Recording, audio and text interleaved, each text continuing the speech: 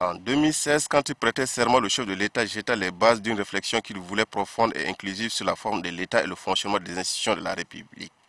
De ces réflexions devaient naître de fortes décisions puis des actions concrètes. Ces réflexions ont pris forme avec le Forum national inclusif. Puis, le 30 avril 2018, par voie parlementaire, les élus du peuple ont adopté la nouvelle loi fondamentale consacrant la 4ème République.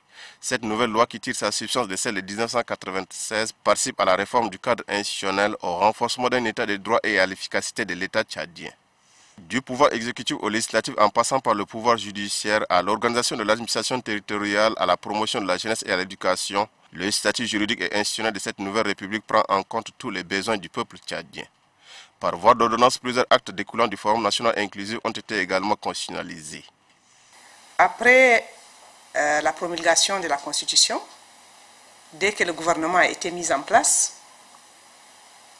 il y a eu 13 ordonnances qui ont été prises dans le cadre de la mise en œuvre des résolutions du Forum et de la mise en œuvre de la Constitution.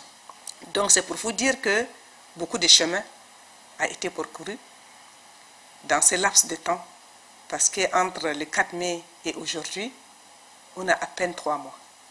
Les dispositions relatives au principe selon lequel tout membre du gouvernement est tenu de prêter serment devant le président de la République témoignent de la volonté des pouvoirs publics à lutter efficacement contre le détournement des deniers publics et de contribuer à la bonne gestion de la chose publique.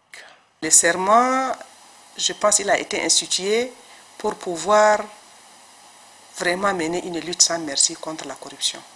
Parce qu'on a essayé, on a essayé beaucoup de, de disons, des, méthodes ou bien d'instruments.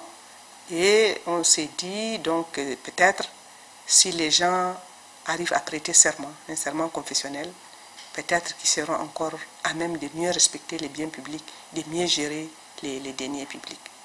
Et donc, euh, tout cela, c'est vraiment, comme je l'ai dit au départ, euh, des dispositions qui vont permettre de renforcer l'état des droits, de renforcer la bonne gouvernance et partant d'assurer le bien-être des Tchadiens.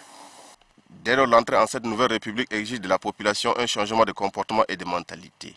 Les valeurs liées à la culture de la paix, de l'amour, du pardon et de la tolérance sont des prescriptions devant guider les pas du peuple tchadien pour cette quatrième république telle que l'exige la loi fondamentale.